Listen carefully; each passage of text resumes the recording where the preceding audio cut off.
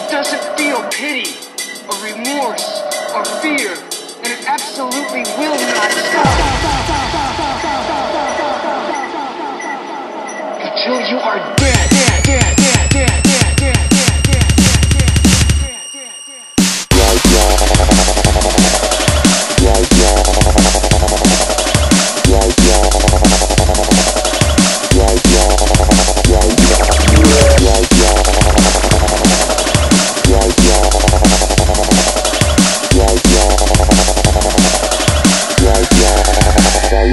yeah, yeah, yeah.